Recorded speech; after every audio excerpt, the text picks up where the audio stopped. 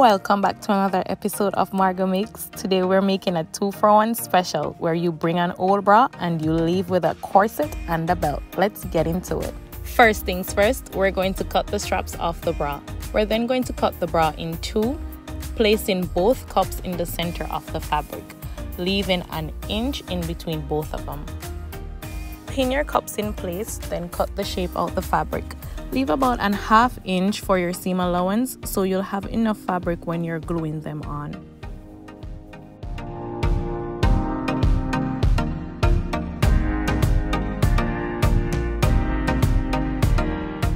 You should end up with four pieces of fabric the shape of your bra cups. You're then going to glue each of them on both sides, front and back.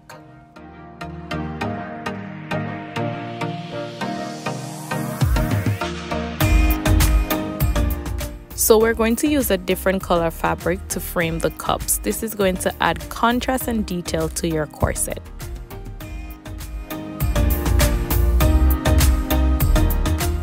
You're going to need something to hold your fabric in place so that the glue can dry properly.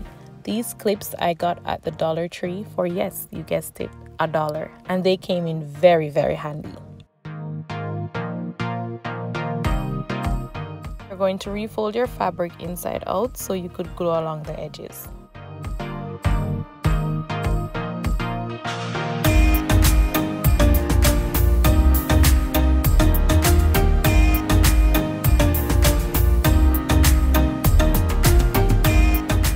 After your glue is nice and dry, you could turn it right side out.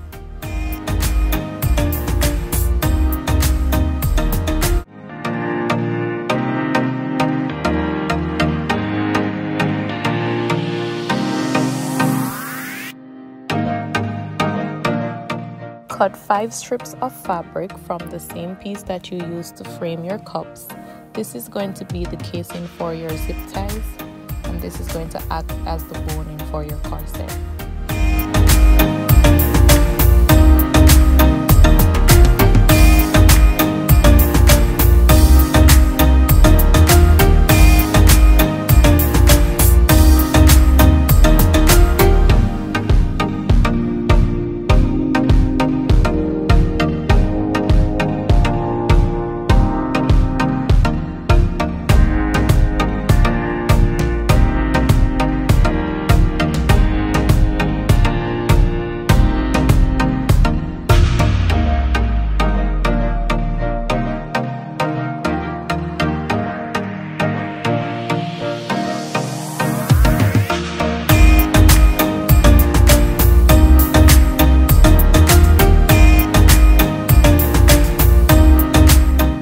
Now we're going to glue the soft side of the velcro along the curves of the inside of the belt section.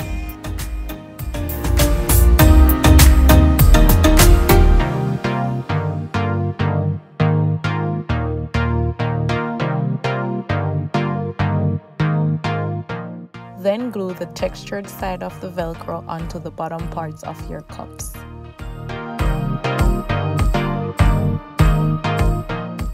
We're just going to clean up the little bits and bobs so that we have a nice clean finish. And there you have it, a quick and easy no-sew corset.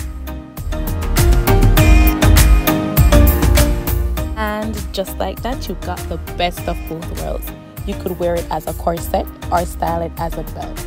Let me know if you enjoyed this video. Drop a comment, like, share, subscribe.